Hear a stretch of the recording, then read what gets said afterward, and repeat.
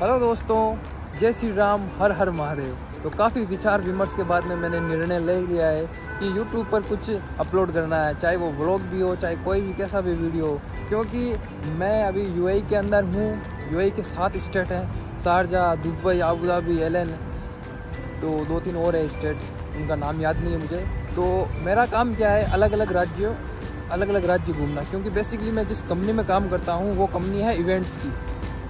अलग अलग शोज़ होते हैं अलग अलग इवेंट्स होते हैं तो मेरा काम बेसिकली घूमना होता है अलग अलग स्टेट के अंदर यूएई के अंदर। दुबई में भी बहुत सारे काम आते हैं शारजा के अंदर भी बहुत सारे काम आते हैं एल में भी बहुत सारे काम आते हैं। तो मैं ऐसी ऐसी जगह जाता हूँ जहाँ मतलब देखने लायक बहुत अच्छी अच्छी चीज़ें होती है। तो मैंने सोचा कि चलो यार यूट्यूब पर कुछ वीडियो बनाकर अपलोड करते हैं जिससे जो आने वाली ऑडियंस है जैसे भारत के अंदर जनता बैठी है वो भी देखे भाई यूएई कैसा है दुबई कैसा है दुबई के अंदर क्या चल रहा है उनकी लाइफ स्टाइल कैसी है जो दुबई में रहते हैं। तो ये सोचकर मैंने वीडियो बनाना स्टार्ट किया है। ये मेरा फ़र्स्ट ब्लॉग होने वाला है। तो अगर आप ये वीडियो देख रहे हो तो मैं भी जा रहा हूँ कहीं घूमने। इधर फ़ेमस है इधर मैं जिधर रह रहा हूँ उस एरिया में एक चीज़ फ़ेमस है बीच बोलते हैं उधर। तो मैं बीच के ऊपर जा रहा हूँ तो उधर का नज़ारा आपको दिखाऊँगा मैं। तो बने रहे मेरे वीडियो के अंत तक स्किप मत करना। बहुत अच्छी चीज़ मिस कर जाओगे आप। तो बेसिकली ये मेन रोड है अभी। ये दुबई टू शारजा की मेन रोड है। और मैं अभी इस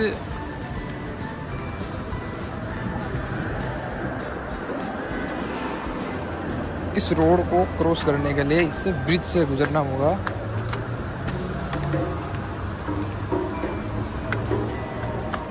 काफ़ी बड़ा ब्रिज है ये तो। काफ़ी सीढ़ियाँ लगी हुई है।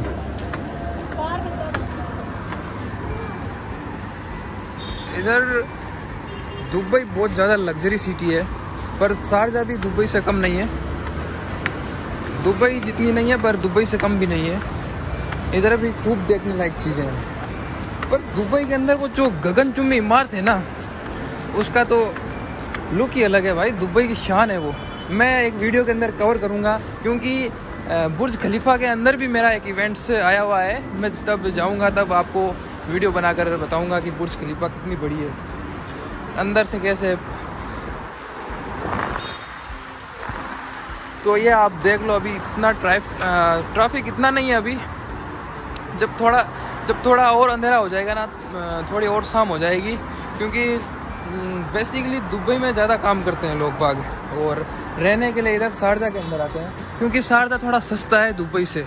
इधर रहने के लिए रूम्स खाने पीने की चीज़ें थोड़ी दुबई से सस्ती है तो काफ़ी लोग इधर ही स्टे करते हैं शारजा के अंदर और काम करने दुबई जाते हैं। तो ऐसा कुछ सीन है अभी इधर का।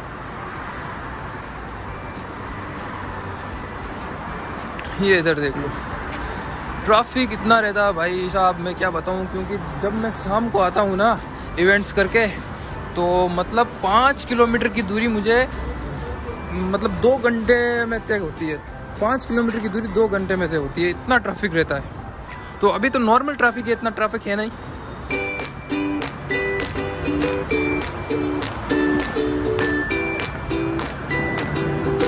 ये अब मैं जा रहा हूँ नीचे। अब जैसे जैसे शाम हो रही है वैसे वैसे कैमरे की क्वालिटी भी कम होती जा रही है।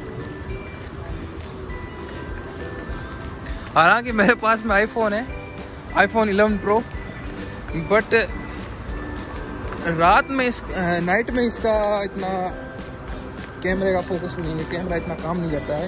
हाँ काम करता है नाइट में, अगर लाइट्स हो तो। चलो, चलते हैं।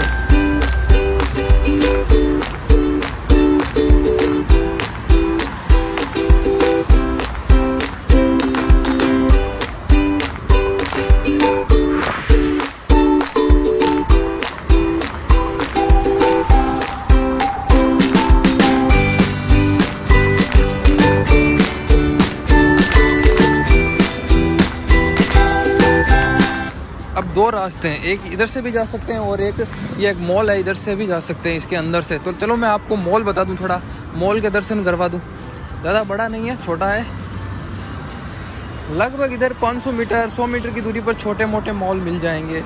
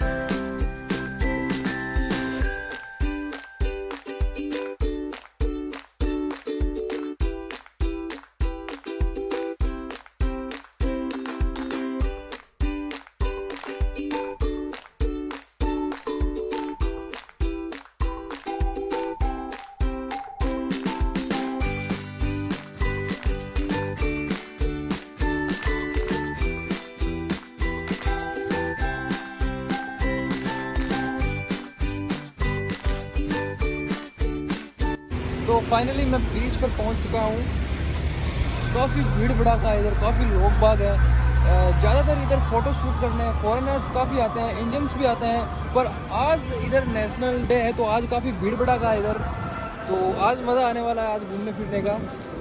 इधर आप वोटिंग भी कर सकते हैं। इधर बहुत कुछ है, देखने लायक, घूमने लायक। ज़्यादातर तो लोग इधर फ़ोटो शूट करने आते हैं। मैं जब फ़र्स्ट टाइम इधर आया, दुबई के अंदर आया तो मैं भी फ़ोटो शूट करने ही आया था पहले इधर।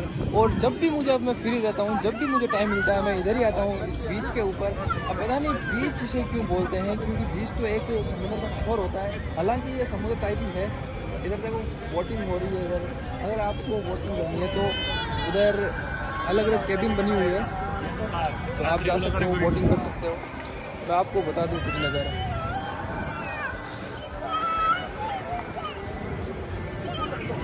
आज बहुत ज़्यादा भीड़ भड़ाका इधर।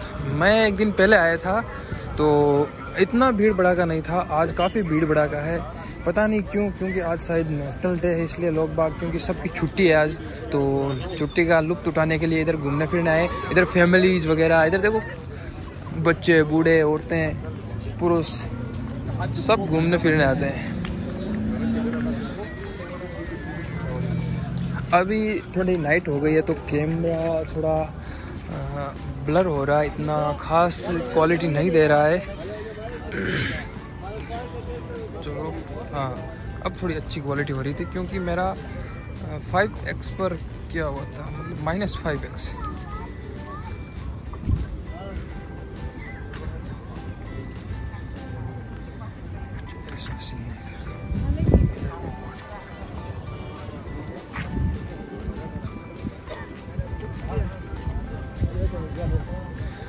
देखो नन्ही सी बच्ची को।